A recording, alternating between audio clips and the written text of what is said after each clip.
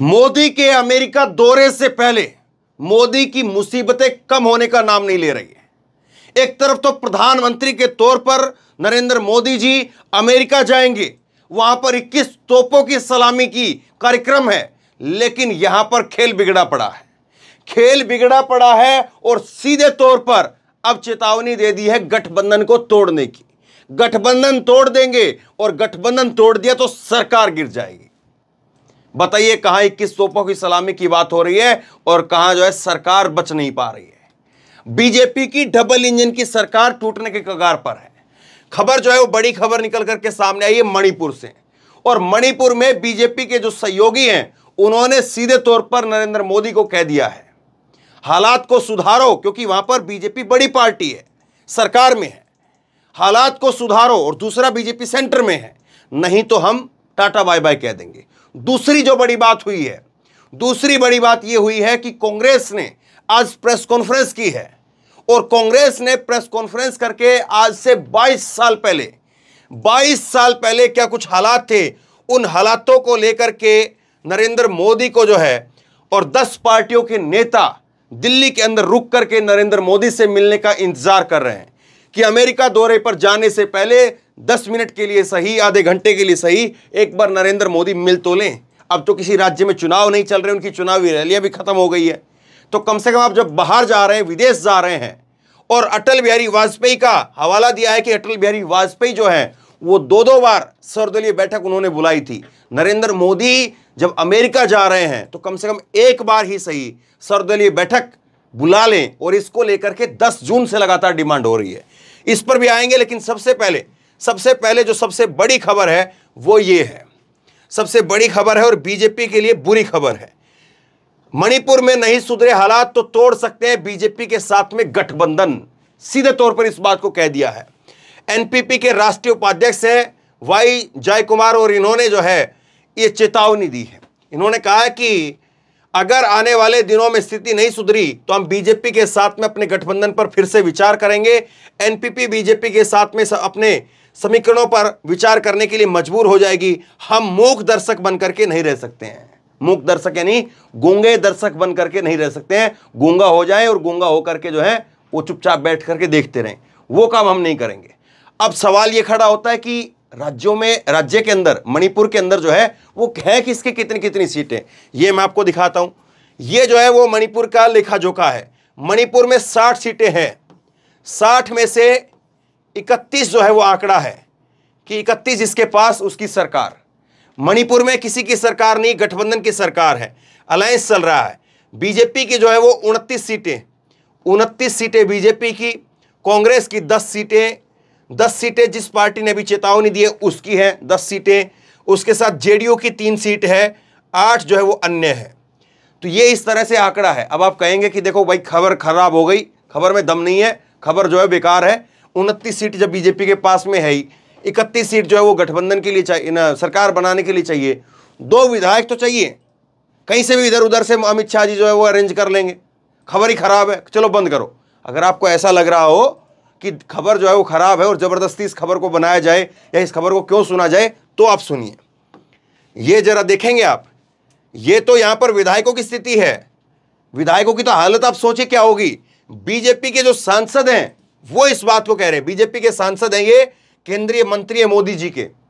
और ये इस बात को कह रहे हैं राजकुमार रंजन नाम है इनका। और ये कह रहे हैं कि मणिपुर के अंदर, मणिपुर में कानून व्यवस्था खत्म हो चुकी है। ये इन्होंने कहा है।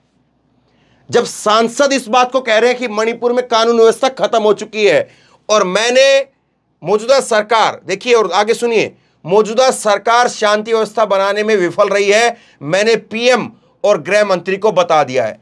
और यह 16 जून कल का ट्वीट है, कल की खबर है। जब सांसद और जो मोदी के मंत्री हैं, वो तक अपने हाथ खड़े कर रहे हैं कि मौजूदा जो सरकार है, वो अपनी सरकार जो है, वो कानून व्यवस्था को बनाने में, बचाने में पूरी तरह से फेल हो चुकी है। मोदी के मंत्री खुद इस बात को कह रहे हैं। तो सोचिए विधायक क्या कह रहे होंगे? जो सांसद जिनका दिल्ली के अंदर बंगला है, आराम से रह रहे हैं, मोदी के मंत्री हैं, उनका तक वहाँ पर घर फूक दिया जा रहा है। वो तक सुरक्षित नहीं है। तो विधायक फिर आप सोचिए किसके साथ जाएँगे? विधायकों को भी पता है कि हम किसके साथ जाएँगे और किसके साथ नहीं। ये उनतीस में से बीजेपी के साथ कितने विधायक रहेंगे यह भी सवाल है, क्योंकि सीधे तौर पर यहाँ पर विपक्ष की सरकार बन सकती है। ये यहाँ पर विपक्ष की जो है सरकार बन सकती है, दस कांग्रेस के, दस एनसी, एनपीपी के, बीस, तीन हो गए जो है वो जेडीयू के, तेईस और आठ हो गए जो है वो अन्य के, इकतीस के साथ में जो है वो यहाँ पर मिल करके कांग्रेस की सरकार जो है वो यहाँ पर गठबंधन की सरकार बन सकती है। और हो सकता है कि यहाँ पर उनतीस में से जो है वो कुछ विधायक बीजेपी के टूट करके आ जाएँ। दस विधायक, पाँच विधायक, दो तिहाई का जो आंकड़ा है, वो कंप्लीट करके फिर दल बदलू, कानून भी लागू नहीं होगा। और सरकार जो है बीजेपी की गिर जाएगी। और ये भी मत भूलिए, मैंने आपको खबरें दिखाई हैं, बीजेपी की सरकार बनवाने के लिए हेमंत बिस्वा शर्मा के साथ में उग्रवादी नेताओं ने कहा कि हमने उनकी मदद की थी। खैर, अब आगे चलिए। आज जो एक बड़ी और डेवलपमेंट हुआ है, कांग्रेस ने प्रेस कॉन्फ्रेंस किया है दिल्ली के अंदर। और कांग्रेस ने अपने मंच से इस बात को कहा है कि विपक्ष की 10 पार्टियों ने 10 तारीख को 10 जून को लिखित में पीएम मोदी को एक खत भेजा, एक लेटर भेजा और कहा कि हम मणिपुर मामले में आपसे मिलना चाहते हैं। आज भी इन पार्टियों के 10 प्रतिनिधि पीएम मोदी से मुलाकात के लिए इंतज़ार कर रहे हैं। लेकिन मोदी जी जो हैं, वो शायद अपनी अपनी अमेरिका की पैकिंग में लगे हुए हैं। और इसीलिए जो है, मुलाकात का समय नहीं मिल पा रहा है। दूसरी चीज़ जो है वो आप देखिए, कांग्रेस ने यहाँ पर जो है वो ये दूसरा एक बड़ी वीडियो पोस्ट किया और इसमें लिखा है कि 22 साल पहले 18 जून को 18 जून 2021 को मणिपुर जल रहा था विधानसभा स्पीकर का, विधानसभा और स्पीकर का बंगला। सीएम सेक्रेटरिएट जला दिया गया था और साढ़े तीन महीने के लिए ब्लॉक रहा था। तब देश के प्रधानमंत्री श्री अटल बिहारी वाजपेयी जी थे और सभी पार्टियों की मांग पर दो बार सर्वदलीय बैठक हुई, दो बार। और प्रधानमंत्री श्री अटल बिहारी वाजपेयी द्वारा शांति की अपील की गई। आज दस पार्टियों के लोग पीएम मोदी से मिलने के लिए इंतज़ार कर रहे हैं, लेकिन पीएम मोदी खामोश हैं। उस समय के पूरे घटनाक्रम को वर्तमान स्थिति के हिसार, के साथ में विस्तार से बता रहे हैं जयराम रमेश। तो जयराम रमेश, ये नौ मिनट की वीडियो है और मैं चाहता हूँ पूरी वीडियो आप देखें। नौ मिनट की वीडियो है, लेकिन पूरी वीडियो आप देखिए और समझिए इस बात को। कांग्रेस जो है वो अपने मंच से, अपने मंच से अटल बिहारी वाजपेयी की तब की प्रशंसा कर रही है और पूरा लेटर पढ़ करके सुनाया है कि पीआईबी में उस वक्त में प्रधानमंत्री की तरफ़ से क्या प्रेस रिलीज़ आई, किस तरह से जो है वो प्रधानमंत्री ने अटल बिहारी वाजपेयी साहब ने, उन्होंने जो है वो राज्य के अंदर शांति स्थापित करने के लिए दो दो बार सर्वदलीय बैठक की थी। सब पार्टियों को बुला करके बैठक की थी, लेकिन मोदी से मिलने के लिए दस पार्टी इंतज़ार कर रही हैं। दिल्ली के अंदर ठहरी हुई है। मोदी जी मिल नहीं पा रहे हैं। क्या वाकई बहुत ज़्यादा पैकिंग है या विषय कुछ और है? सोचिए ज़रूर, इस वीडियो को आखिरी तक ज़रूर देखिए। बाईस साल पहले, आज सत्रह जून है, कल अठारह जून रहेगा।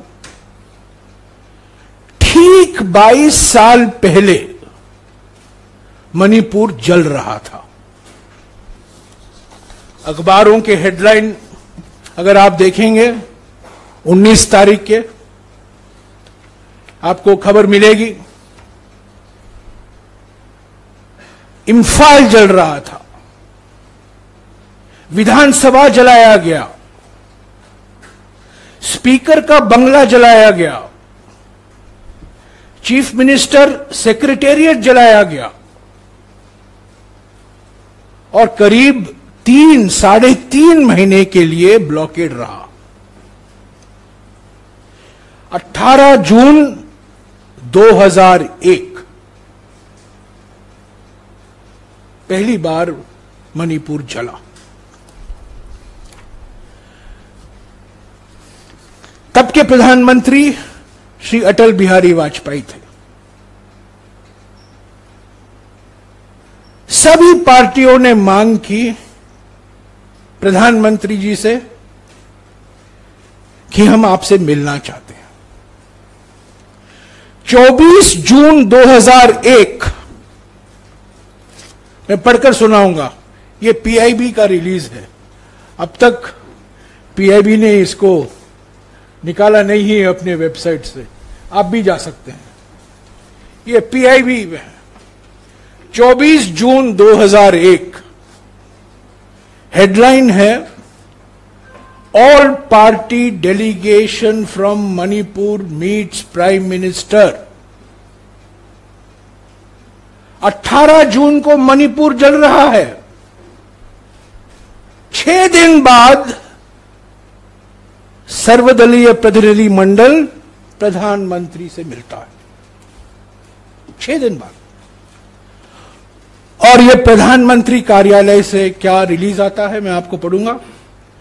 An all party delegation from Manipur called on the prime minister Shri Atal Bihari Vajpayee here today यानी कि 24 जून 2001 the delegation leaders submitted to him a memorandum They gave a detailed account of the latest situation in Manipur. The Prime Minister gave them a patient hearing. दोहराऊंगा The Prime Minister gave them a patient hearing. The Prime Minister referred to the unanimous decision taken at their meeting with the Home Minister, Sri L.K. Advani, yesterday, यानी कि 23 जून 2001, that various aspects arising out of the ceasefire will be reviewed. ये ceasefire नागाओं से के साथ था और ये जो हिंसा के घटना हुए थे ये नागा सीजफायर समझौतों समझौता से लेकर हुआ था He reiterated the union government's assurance that the territorial integrity of Manipur will be preserved. Another meeting with the leaders from Manipur would be held on the 8th of July 2001, by when the Home Minister would have returned from his tour. Advani ji बाहर जा रहे थे देश के बाहर 8 जुलाई को उन्होंने फिर से इस डेलीगेशन से मुलाकात की The prime minister has appealed to the people of Manipur Prime Minister has appealed to the people of Manipur to maintain calm and help the administration in restoring normalcy in the state. They should not give any credence to rumors. ये प्रधानमंत्री कार्यालय की ओर से एक release था जो आज भी पीआईबी आर्काइव में आपको मिलेगा। यह है 24 जून 2001 हिंसा होता रहा। दंगे होते रहे। मणिपुर में शांति वापस नहीं आई। 8 जुलाई 2001 और ये भी पीआईबी के आर्काइव से हैं। आर्काइव का कुछ कभी कभी फ़ायदा होता है विपक्ष की पार्टियों को। 8 जुलाई 2001 को prime minister's appeal to the people of Manipur यह प्रेस रिलीज़ नहीं है। यह प्रधानमंत्री का अपील है मणिपुर की जनता को। मैं पढ़कर सुनाऊँगा। ये खुद प्रधानमंत्री का अपील प्रधानमंत्री कहते हैं 8 जुलाई 2001 को M MPs and M L MLAs from all political party from Manipur called on the prime minister Shri Atal Bihari Vajpayee here today यानी कि प्रधानमंत्री 21 जू, 24 जून को मिलते हैं सर्वदलीय प्रतिनिधि मंडल से और 8 जुलाई को दूसरी बार मिलते दो बार मुलाकात होती है प्रधानमंत्री की। Following is the text of the prime minister's appeal ये मेरा शब्द नहीं है, प्रधानमंत्री का शब्द है, तत्कालीन प्रधानमंत्री का शब्द है। Following is the text of the prime minister's appeal on the occasion I प्रधानमंत्री I express the people grief of the people of the country and my personal grief at the loss of precious innocent lives in Manipur. पंद्रह लोग मारे गए थे 18 जून को पंद्रह लोग as someone who is fully conscious of their sentiments emotions problems and grievances I appeal to the people of Manipur to maintain peace and calm. It shall be the endeavor of my government to ascertain and understand the viewpoint of the people and redress them to the best of our ability through a process of democratic dialogue. I have already assured, I have already publicly assured the people of Manipur, and I once again reiterate that the territorial integrity of Manipur shall be maintained. तब प्रधानमंत्री कहते हैं I will take the first opportunity to be with you in Manipur Shri Swami जो MOS थे has already interacted with you and brought your problems and grievances to my notice. I also invite various leaders of Manipur to come to, Man, um, uh, to come to Delhi and meet me personally so that your problems could be discussed in a free and frank manner. In the meantime, we shall review the ceasefire agreement, Naga ceasefire agreement, including the words without territorial limits presently incorporated in the agreement so as to ensure that all doubts about preserving integrity of Manipur and other states of the northeast are removed. I once again appeal to you to remain calm and help the administration restore normalcy in the state to create a congenial environment for progress and development in Manipur. तो साथियों प्रधानमंत्री अटल बिहारी वाजपेयी जी दो बार मिलते हैं प्रधानमंत्री अटल Bihari Vajpayee appeal करते हैं